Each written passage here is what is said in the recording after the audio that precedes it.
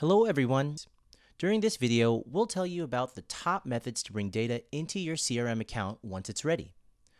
Now that your CRM account is ready to store data, we can take a look at the top three methods through which data can enter the CRM. In this video, we'll go through capturing record via web forms, importing data, and pushing data via API. There are several reasons to put up a web form on your website, but web forms are the most commonly used method to get a bunch of quality leads to work on. When a person visiting your website submits the details on your Contact Us or Request a Quote form, you can be sure that they are genuinely interested in your business. And when these web forms are integrated with a CRM, you can get the leads right within your CRM system. In Zoho CRM, you can set up web forms from Setup, Developer Space, Web Forms.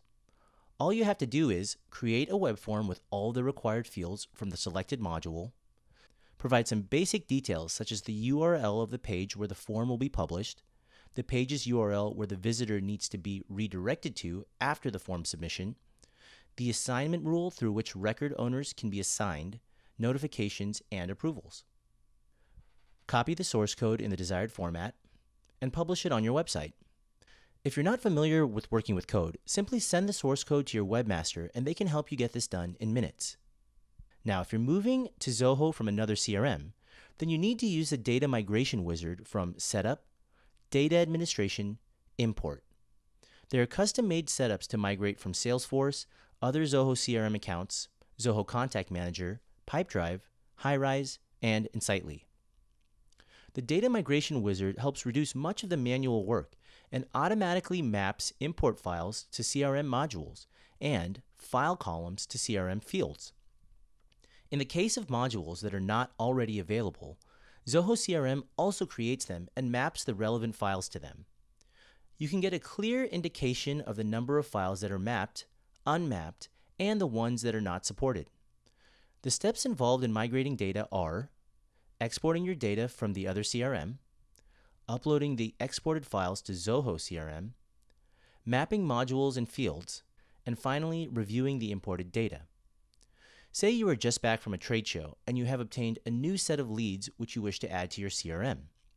In this case, you just need to import data to one particular module, unlike migration, where in one shot you can import data to many modules and also maintain the record association.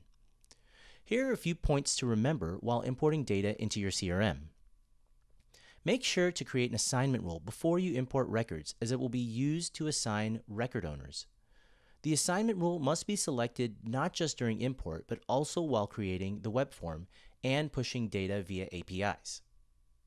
While importing data, remember to select a unique field. A unique field is one which sets apart one record from another, for example, the email address or passport number. If you select passport number as a unique field during import, CRM looks for any other existing fields with the same value as the one in your import sheet. If there is a match, it uses this field to identify duplicates. You can also choose to skip duplicates or clone update existing records based on this unique field. And finally, refer to the documentation on importing and migrating data to make a note of the checklist and best practices. Apart from web forms, data import, and migration, Zoho provides REST API support, which lets you integrate your CRM with any third party application. Say you use an application developed by your organization for your field agents to collect data about the clients that they visit. You might want to integrate that app with CRM to sync the data from the app as well as CRM. Essentially, whenever data is added to the app, it is simultaneously then added to the CRM. Zoho APIs follow REST standards with OAuth 2.0 method of authentication and uses simple HTTP methods like GET, POST, PUT, and DELETE which makes it easier to develop new applications or integrate existing ones with CRM. APIs like insert records and upload attachments can be used to add record information or files like text, image, video, etc. To summarize, when your CRM account is ready to bring in data, make note of the top methods to add data to your account. Capturing leads and contacts via web forms, importing records into individual modules, migrating data from a different CRM, synchronizing records via API, and of course, manually adding data.